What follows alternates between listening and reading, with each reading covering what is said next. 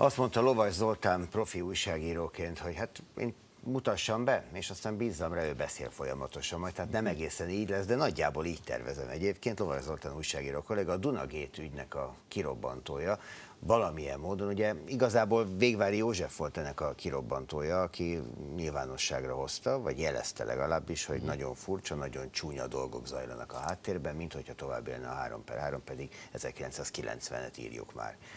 És akkor onnantól kezdve átadom a szót, hogy nagyon rövid zanzáját kapjunk a sajtótörténeti eseményeknek, és aztán beszéljünk arról, hogy ennek milyen kivetülése van a jelenre, mert szerintem azért összességében ma már ez az izgalmasabb. Tehát, hogy volt ez 90-ben? Ez a, az utáni sztoria szerintem egy lerágó csont, már ez mindenféle szempontból, akit érdekel, mert többször olvashatta, láthatta, Na de hát, ha vannak olyan nézőink, akik akkor ezt nem követték, ugye? Jó, hát a végvári előkerült, hogy van egy ilyen visszaélés, akkor bementünk egy alkalmi kamerával, mint fekete doboz, leforgattuk, gyanakodtunk, hogy nem igaz, leellenőriztük, igaz volt, nagy cirkusz volt, lemondott a belügyminiszter, 3 per 3-ast feloszlatták, és azóta ez az egész Duna, ez volt a Dunagét ügy, és az egész ügy, mint egy rétes tészta, azóta csak nyúlik, nyúlik, nyúlik, lényegében nem történik tulajdonképpen semmi. Ugye ott akkor az iratok, adatok, információk megsemmisítése zajlott. Két dolog volt. Az egyik volt az, hogy jogtalanul bedarálták, megsemmisítették, széthurcolták, ez volt az egyik ügy. A másik ügy az volt, hogy ugye 89. október 23-a után jogszerűtlenül folytatták az akkori ellenzéki pártok megfigyelését továbbra is. Tehát és az akkor hatalomban lévők ugyanúgy kapták a jelentéseket persze, a reggeli kávé mellé, mint hogy kapták hát, azt a korábbi Imre, 30 Szűrös Mátyás, abszolút. Na, most akkor a jelen. Azóta sincs ez a dolog elrendezve. Nem is az önmagában, hogy mi történt 1990-ben, hanem az, hogy mi történt a 3 per 3-as anyagokkal, a 3 per 3-as adatokkal. Itt azt vetette fel ma reggel Vadai Ágnes, hogy fontos -e ez még, és tényleg kell ezzel még foglalkozni, és alapvetően érdekel ez még valakit. Ne, bocs, nem akarom a kérdést minősíteni, de mert magában a kérdésben félreértés van.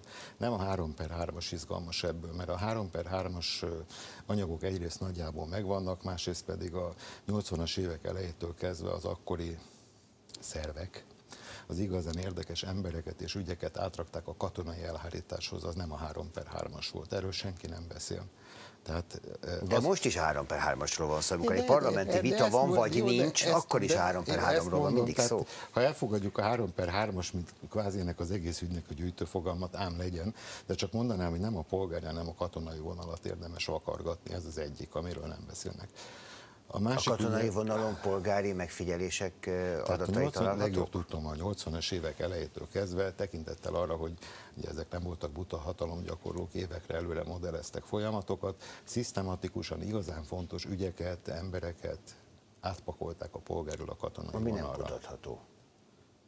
Vagy ha, vagy ha én nem megyek, akkor tudom, arról például ezt adatokat nem tudom, hogyan de olyan kapni? tök mindegy, hogy kutatható vagy nem, ez a másik. Ugye a Dunagét ügy idején hát ez kiderült, hogy mindenki hazavitte bőrönbe az belső tisztek közül a fontos, érdekes dolgokat, amiről azóta is lehet csarolgatni vidáman. Ugyanehhez ugye az oroszok, hát a szovjetek, az akkori KGB évtizedeken keresztül gyárilag hozzáfért. Na most ez a másik vonal, amiről nem beszélnek. Tehát ha az egész ügynek bármiféle igazán releváns értelme lett volna beszélni hosszú időn keresztül. Ez a nemzeti szuverenitás szempontjából érdekes rész, és ez a KGB vonal, a mai FSB vonal. Erről nem beszélnek. Miért nem beszélünk? Ugye, tehát itt mindenki azt hiszi, hogy itt valami szörnyűségek voltak, embereket megfélemlítettek, zsaroltak, beszerveztek, kihasználtak, és a, a tartótisztek, a politikusok, ez egyföl így igaz. De ez a folyamat azóta is zajlott, tehát hogyha megnéznék ezeknek a, a jogutott szerveknek a gyakorlatát, amit azóta követtek, azok azt hiszem sok szempontból legalább annyira sérelmesek. Zárójelben mondom, kíváncsi lennék, hogy az azóta beszervezett emberek és az őket működtető mai tartótisztek most a mostani hatalomváltás, vagy rezsimváltás, vagy új alaptörvény kontra alkotmányváltásnál most mit fognak csinálni, mert ugye ez is egy új típusú helyzet, de most fejezzük be a zárójelet, menjünk vissza a KGB vonalra. Tehát arról nem beszélt senki, ugye? Arról se beszélt, hogy a, ö, ezek a szervek kifelé, tudom én, a csehszlovákok, a románok, az NDK-sokkal szemben hogy dolgoztak, vagy az utódállamokkal szemben később a 90-es években. Ez az EU csatlakozás, NATO csatlakozásnál hol oldódott, merre oldódott. Tehát ez egy szörnyű szövevény. Én úgy gondolom, hogy lehet ezen rágódni visszamenőleg, erkölcsileg föl lehet háborodni. Hát ma is láttam Torkos Matild írt megint nem tudom, hanyadik dolgozatot a Magyar Nemzetben. Meg lehet csinálni, csak úgy gondolom, hogy értelme nincsen. Jó megoldás erre már nincsen. Annak idején részben széthurcolták az adatokat, ki tudja. Az hogy... az állítás, bocsáss meg, az az állítás, az nem igaz?